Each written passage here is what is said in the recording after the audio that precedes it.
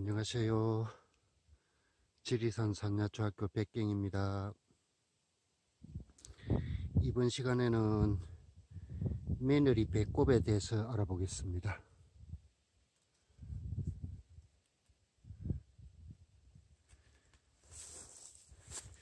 며느리 배꼽의 생긴 모습은 어, 이렇게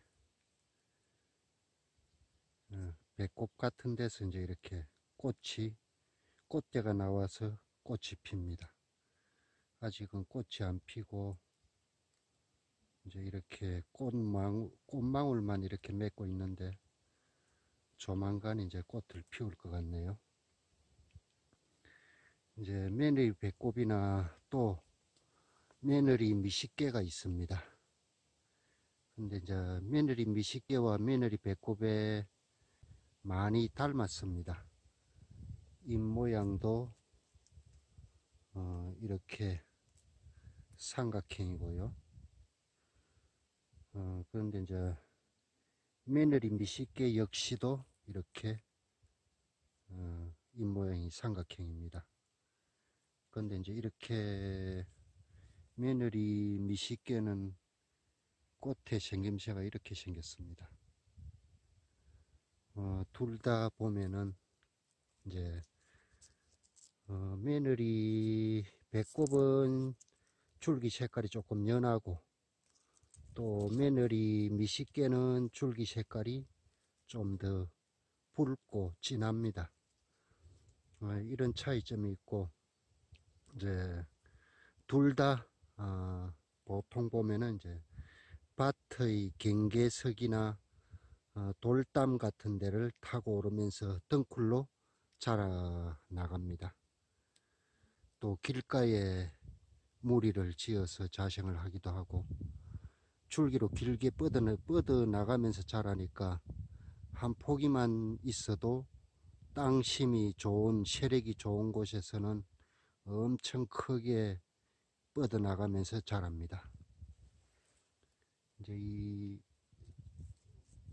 줄기에 보면은 가시가 갈고리처럼 휘어진 가시가 이렇게 자라고 있습니다.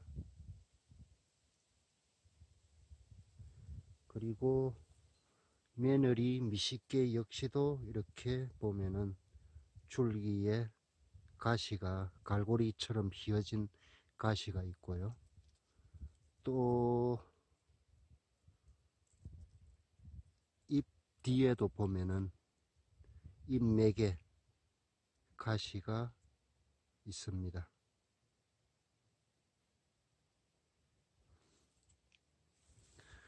이제 며느리 배꼽은 이제 나물로도 먹고 나물로 먹는데 이제 줄기에 갈고리 같은 가시가 있으니까 아주 부드러울 때 어린 순을 채취해서 어, 샐러드로도 무쳐 먹고 또 튀김도 튀겨 먹고 또 비빔밥 재료로도 활용을 할 수가 있습니다.